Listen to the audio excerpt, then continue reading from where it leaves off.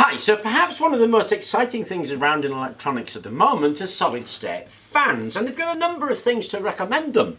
They're uh, lower power, they last longer, they have a smaller footprint and they're much much quieter.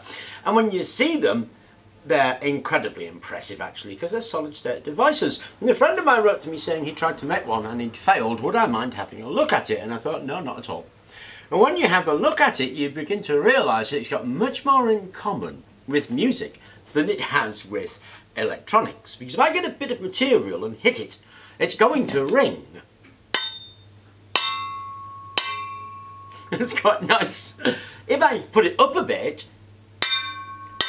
the shorter this gets, the higher the note. The longer, the deeper the note. And if you hit anything, it's going to do that. A lump of wood, a wine glass, a bit of metal, a string, any of these things will perform that action. They'll vibrate at what's called the fundamental frequency. That fundamental frequency is going to give you the biggest range of vibration and if you think you want a fan and you want to have to have big range you need to hit the fundamental frequency. If you have a look again at that piezoelectric fan you'll see that it's essentially held in one spot and in musical terms this is called a clamped vibration bar so we've got one clamp on it. Now obviously in a glockenspiel or a xylophone, it's on both sides as it is with a guitar where you've got the uh, nut and the bridge clamping it on two sides. In a tubular bell where you're hanging it, it's really free but you can think of it also as being clamped at one edge. So we've got a single clamp on a bar. Then we basically take the piezoelectric element and hit it because the piezoelectric element is what's called the actuator.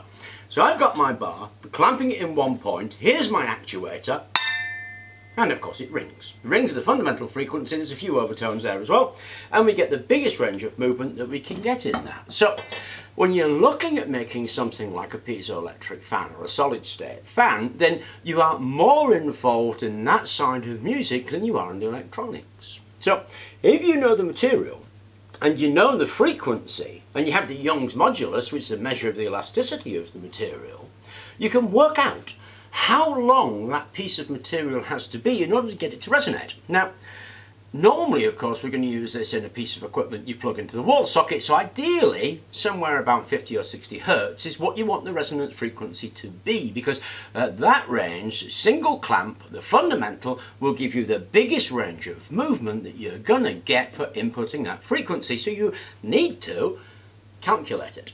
Now that bit of material needs to have a degree of spring, but again you can use just about anything. Popular choices are aluminium, phosphor bronze, brass or steel. Those materials are what are used and they tend to be in the region of 0.1 millimeter thick because they're not very heavy, they've got a deal of spring to them, they've got a resonant frequency that's relatively short, so you don't need a fan this long, you tend to use something this long. So we need a bit of material, we clamp at one end, and then we need an actuator put onto that material. Now, for a piezoelectric solid state fan, that actuator is a couple of piezo elements.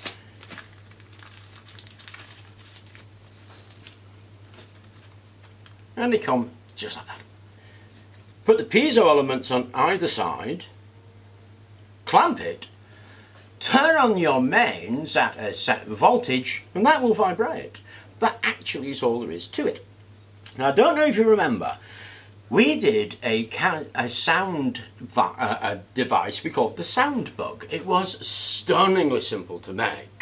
And if you attached it to a window, it turned your window into a speaker. If you put it onto your desk, your desk became a speaker. If you put it onto the bottom of a tin can, and you know I love tin cans, you could have headphones and look like a Cyberman.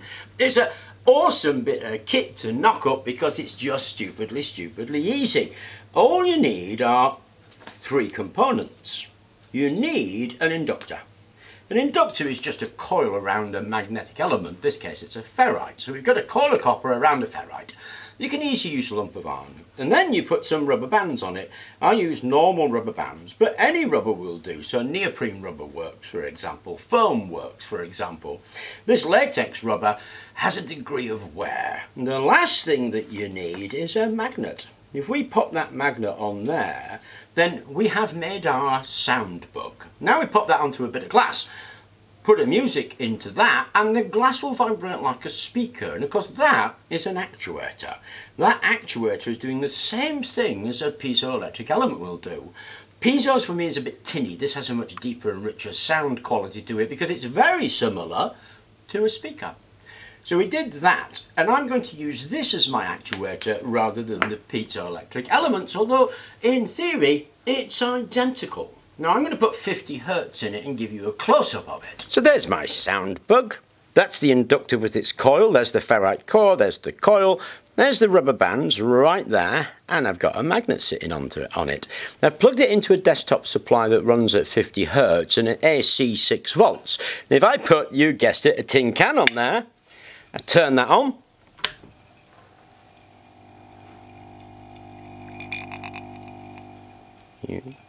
you should just be able to hear the hum of the mains. So that is now resonating this tin can at 50 hertz, which is obviously very low. So it works as a resonator, in which case it's working as that bit of copper pipe. This is the actuator that is hitting this and causing this to vibrate. All we have to do to make that a fan is take our worked out piece of metal and stick it on there and it will be a fan. So there's my bit of steel on there. I haven't worked this out, but let's give it a little bit of SE.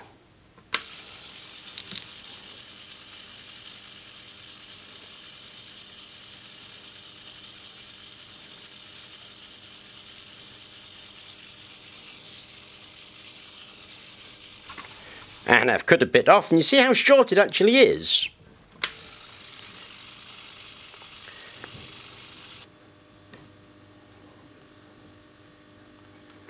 So after a little bit of tuning, which meant cutting off some end of it with a pair of scissors, I got it about three centimetres long and I got about a centimetre deflection.